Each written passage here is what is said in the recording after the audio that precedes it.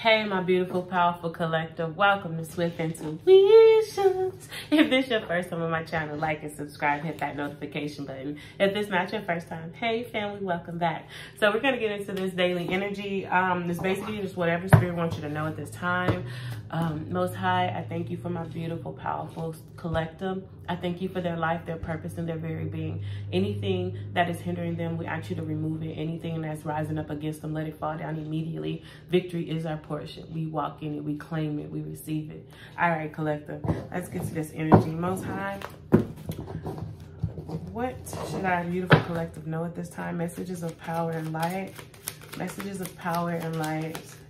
Ooh, okay, three cards came out. The first card we have is cassette, old dated, uh, outdated thinking over and over in your head, even thinking over and over in your head. I feel like collective, this could be you thinking about a situation or something, and it's like you keep playing it over and over in your head, or this is somebody that, that, that wants to come back in, but it's like they keep seeing a situation uh, that could have taken place between the both of you uh, over and over, and they're not, they're, it's like they're, they're only still looking at a situation from one perspective. They're not uh, looking at it from different uh, aspects.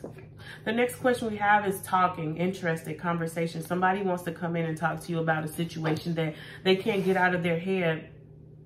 It's like, they keep replaying something that's happened. This could be somebody that you separated yourself from and you could have told them something that, that will not get out of their head. And I feel like, especially if some truth came towards it or some truth was in it. Meaning if you told somebody something and it came to fruition, it's like they can't stop thinking about it. They can't stop thinking about what it was that you said, how you said it. And right now I see girl with the snake. So this is somebody that, it says empath, narcissist, uh, being charmed to use enable battery. So this is somebody that it was a one-sided, um, a one-sided relationship. And I feel like before you really exited the situation, you told them something that, that I feel that came to pass the very thing that you told them, it scared them when it was happening. Some of you guys could have told them something like, uh, you're going to reap what you sow. Or the next person is going to do something. And, and it, it was like you, you, you, you said something that was very prophetic and it came to fruition and now this person can't get off their mind. They can't get you off of their mind. It's something about you. This person isn't making healthy choices when it's dealing with their body, which makes me feel like this person could be on drugs, heavy drinking, and just really not taking care of their body. They could be letting a lot of people in their temple and right now I see girl talk. So this is some, uh, this person could be talking to uh, friends and families about a particular situation, what you said, how you said, and how it's affecting them now. We have mirroring each other. This person, what you told them is making them look in the mirror. It's making them see their deceptive ways. It's making them see their narcissistic ways.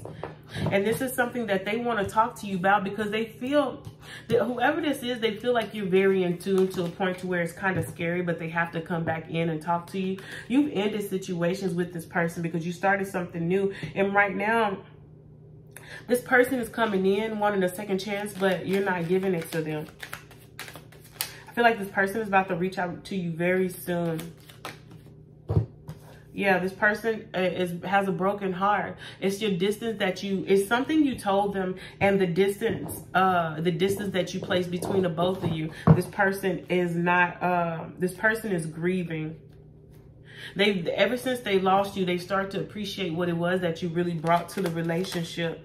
And now, it, and then whatever you're saying is reflecting. I feel like what you tell them is somebody uh, close to them told them the same thing. This is like a, um, you were the messenger that message keeps getting reiterated. Y'all ever had a situation where it's like, oh, confirmation, confirmation. Like you hear some here, you see some there, and it's all the same thing. Like, God damn, God's trying to tell you something right now, right now, right now. I feel like that's how this person feels. They feel like whatever you told them, they keep hearing it over and over. They keep seeing it. It's like you got to get this message. And right now, this person is heartbroken because this end is here. And they feel like now they're starting to realize, appreciate how valuable, how rare you were. And this was a karmic relationship. Mm. Most High, when it's come, talking about cassette, what is cassette spirit? What is cassette? Okay. Yeah, if you mention something about this person's childhood wounds, like if you pinpointed why they act the way they act, I feel like this is something that they're playing in their head, in my head about you. They can't stop thinking about what you said. For some of you guys, you told this person that the reason why they are the way they are is because how they was raised.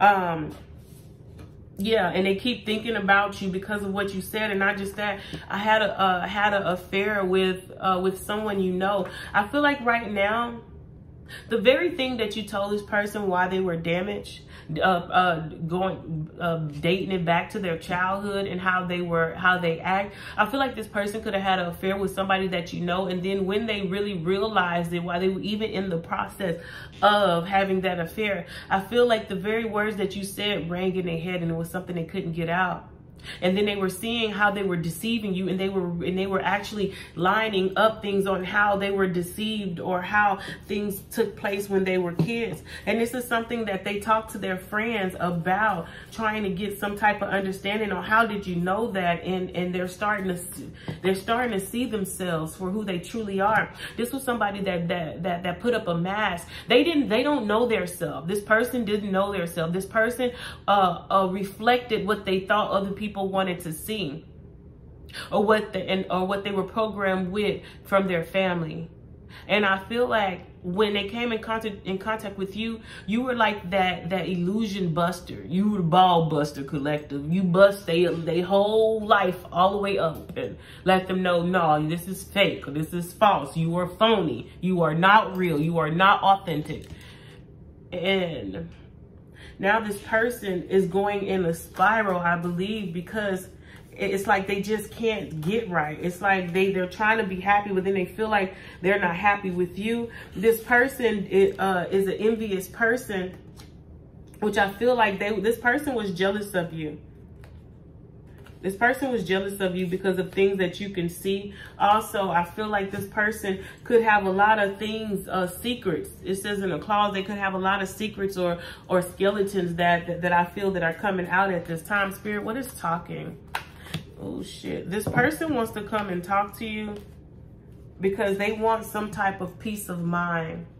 They feel like right now the only person that can give them this type of peace of mind is you. And then we have karmic is kicking, uh, karma is kicking my ass. I'm sorry. When it's dealing right here, it says girl with the snake. I feel like this person, and it got bitch energy. So this person got with somebody that was very a low vibrational being.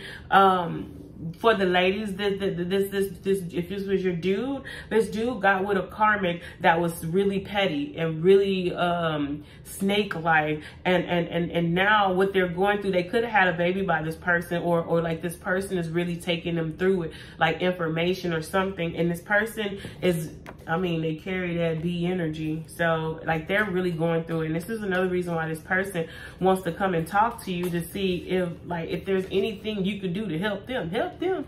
And when it says girl talk, um, having fun, I feel like right now, Spirit is putting you in this energy of lightheartedness. I feel like um, it says you're heavenly protected. You have angels, your spirit guides, your ancestors are protecting you right now. Also protecting you from this negative energy because I feel like the person that this person is dealing with, be it a man or a woman, I feel like the other person knows about you and the other person watches you. But the things that they try to do to get to you, oh, and this could be something not even belongs to you. You don't even even know you got haters watching you. Well, you know you got haters because you, you know, you on your shit. Let me pop your collar collective. But the truth is, I don't feel that you know exactly who this person was messing with and, you know, now they watching you. And it's like, but Spirit says don't even worry about that low vibrational bitch energy because you're protected. And that's the reason why they're going through what they're going through right now. We have, oh, Spirit, look at, hold on, family. There. Okay, okay, I'm back, I'm back. Okay. So now we have let me ease your mind. So now because you ended something with this particular person that's going through drama with this karmic, they want to come and ease your mind trying to let you know that that they've changed. They want to see if you will give them another chance because they're deeply hurting about this separation. It says this feels like wasted time. I feel like this is this is uh your energy and theirs. They want to come back in to see if you will let them in, but they feel like they're just going to waste their time and their feelings are going to be hurt which is probably so the way I'm feeling with these uh with these energies. Because collective i feel like you dodged a bullet and when this person uh, chose somebody else over you this was their karma and they didn't even know they were running smack dead into karma. Uh, talk to me please. So now since this person is starting to to see themselves see their wounds from and this is something that you have relayed to them about the healing that they need the introspection part. Now this person is begging please come talk to me. Um and and and this is was a karmic situation. Most high what is this karmic relationship?